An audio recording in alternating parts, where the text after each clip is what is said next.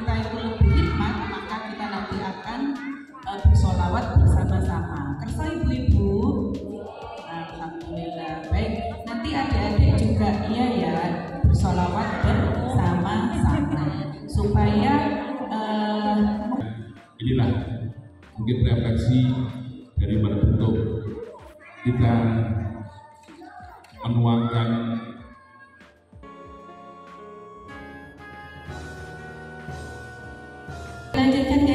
acara selanjutnya sambutan dari Forhati kepada yang terhormat Ibu Hajat Nurul Cinia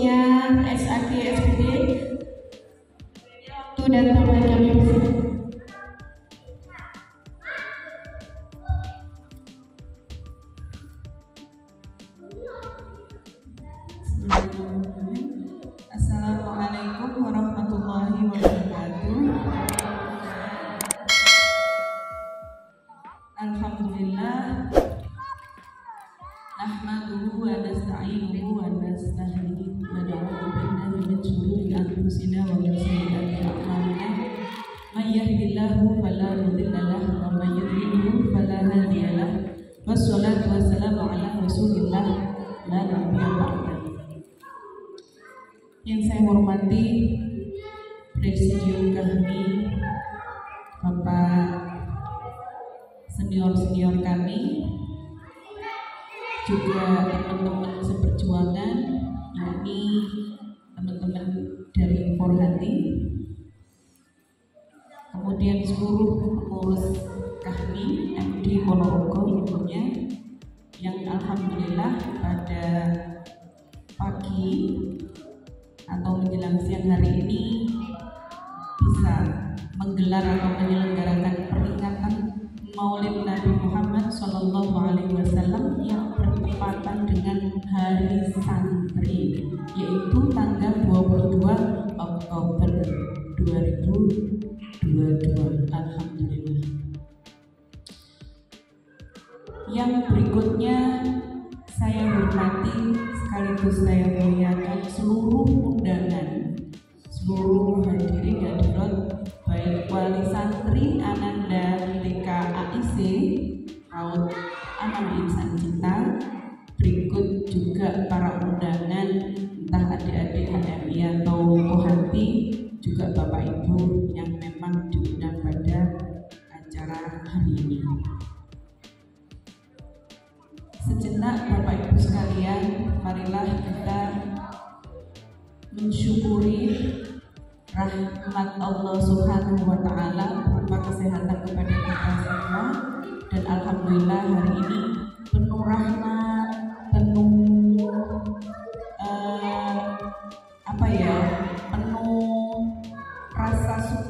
Luar biasa. Karena memang kita bayangkan teman-teman kita mungkin saudara kita ada yang tergeletak di rumah sakit. Saat ini atau teman kita saudara kita yang sekarang lagi diuji musibah sama Allah berupa kesehatannya kita harus senantiasa mensyukuri ternyata nikmat yang luar biasa yang kita lupakan adalah apa ibu ibu sehat mari sama-sama kita bertakmir eh, apa untuk mewujudkan rasa syukur kita monggo sama-sama bertakmir alhamdulillah rabbil alamin Salawat beriring salam karena bertepatan hari ini juga kita memperingati Maulid Nabi Muhammad Shallallahu Alaihi Wasallam kita bertawasul sudah sering kepada Rasul ya. Gunanya untuk apa bunda sekalian atau bapak? Beliau. Sebenarnya syafaat tersebut tidak hanya kita harapkan nanti di yaumil akhir, tapi harapan kita dalam kehidupan sehari-hari ini kalau kita meneladani dan apa istilahnya mencontoh suri tauladan Rasulullah Shallallahu Alaihi Wasallam maka harapan kita adalah kita mendapatkan syafaat beliau baik di sekarang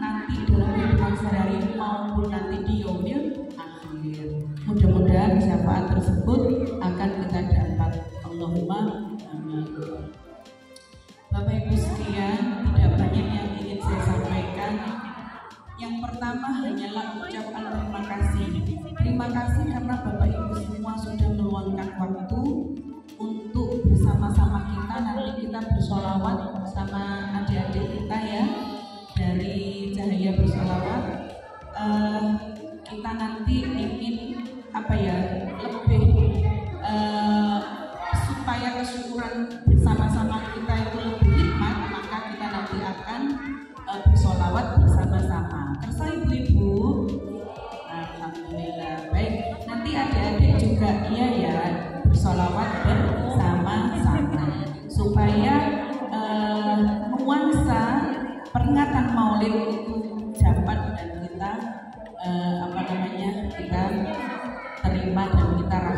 Thank you.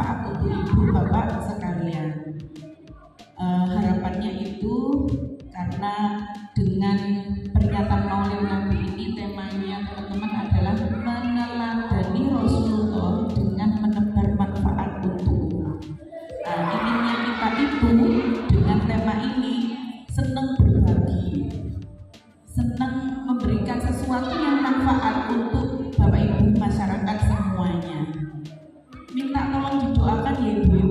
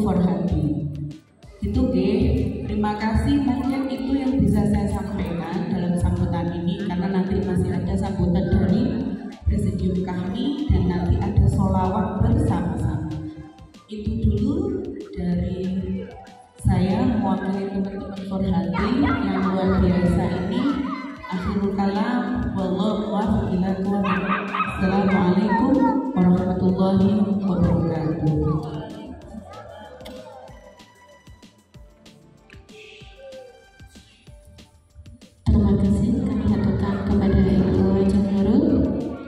Selanjutnya sambutan kepada yang dihormat Presidium kami Bapak Dr. Haji Baruna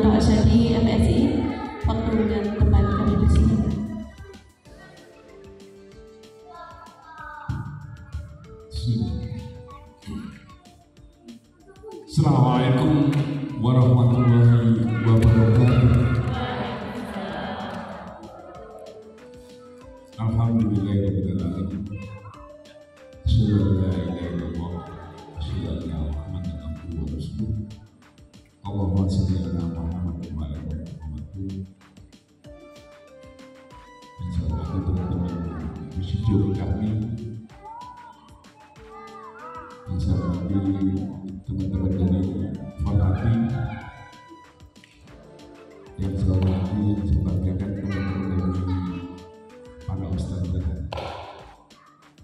Amanah insan kita yang saya wadi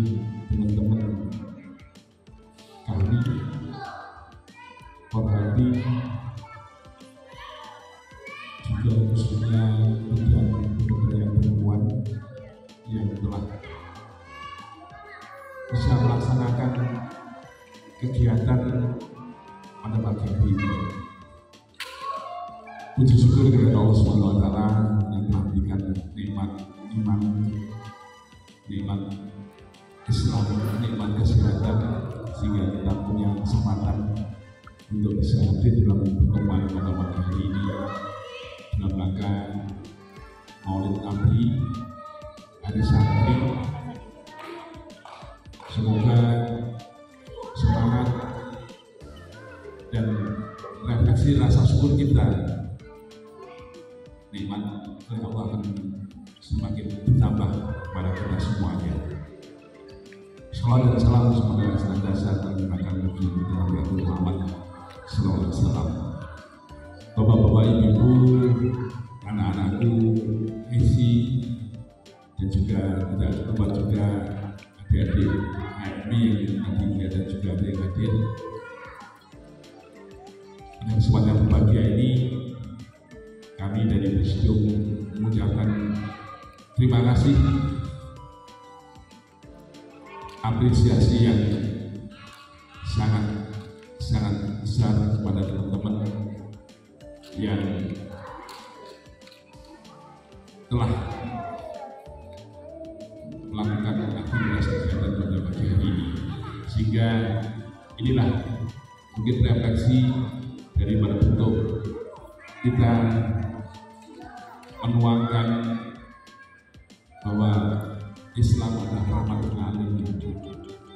memberikan lembaran kemanfaatan sebagaimana tema yang tadi dicanangkan oleh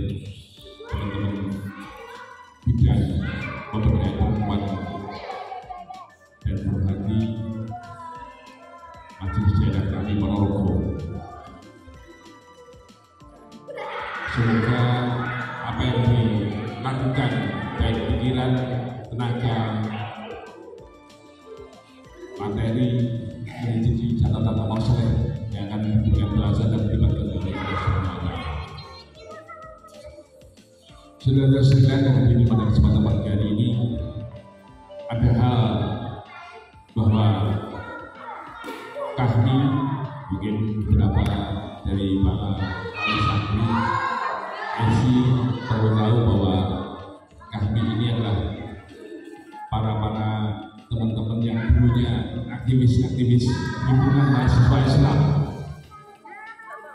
Di mana setelah lulus dua tahun maka dia secara otomatis menjadi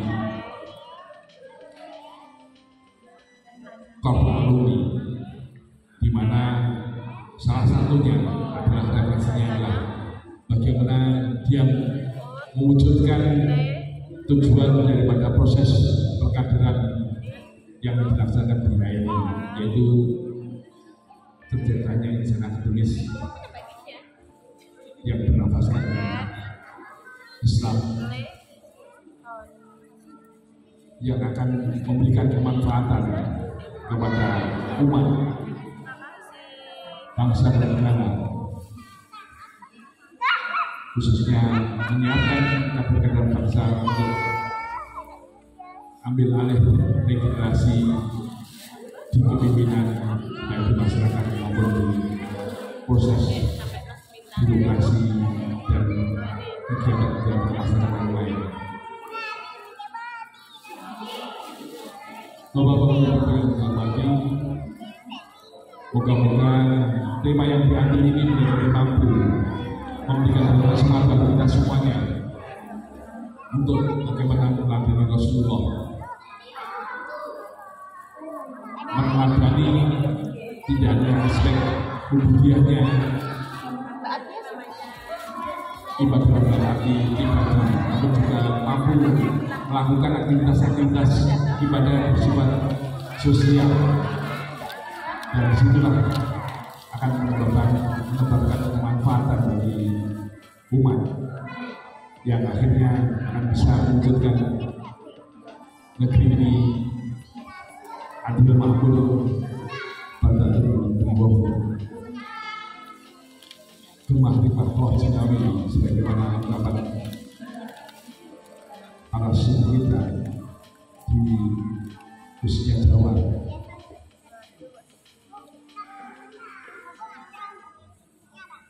Bapak Ibu yang saya hormati Insya Allah kegiatan ini tidak hanya bagi dan nanti setiap kegiatan pertigaan akan mewarnai aktivitas-aktivitas kami untuk bisa memberikan warna.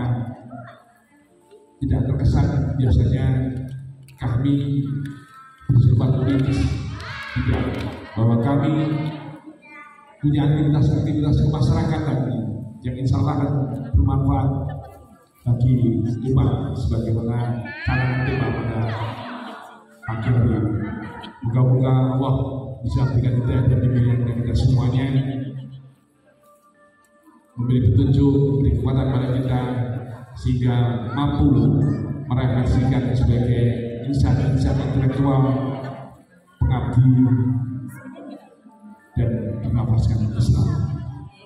Itu yang mungkin dalam kesempatan berbahagia ini bisa sampaikan. Moga-moga kita mampu melakukan aktivitas-aktivitas yang bermanfaat bagi kepada masyarakat sebenarnya yang di gedung maaf.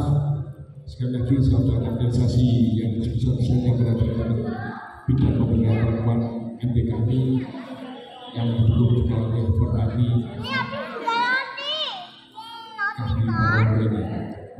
maaf. Assalamualaikum warahmatullahi wabarakatuh. you.